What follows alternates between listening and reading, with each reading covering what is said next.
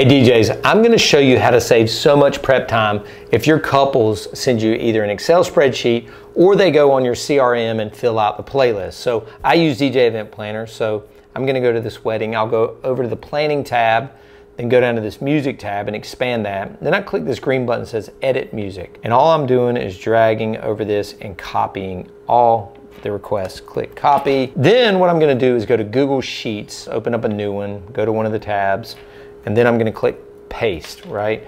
Now all I want from that data is really the song and the artist. So I'm just gonna grab that and copy that. Now, here's the, here's the sneaky part.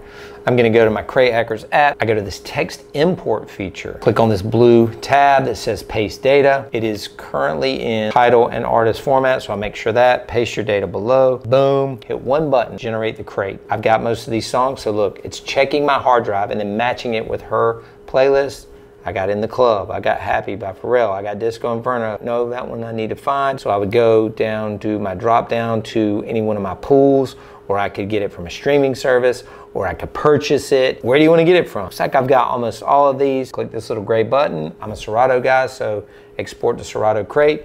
It says your crate is being created. Opening up Serato now. Drum roll, please. And what do you know? Sydney's wedding right there with all of her songs. How much time did I just save using Crate Hackers? Get it right now. Let's go.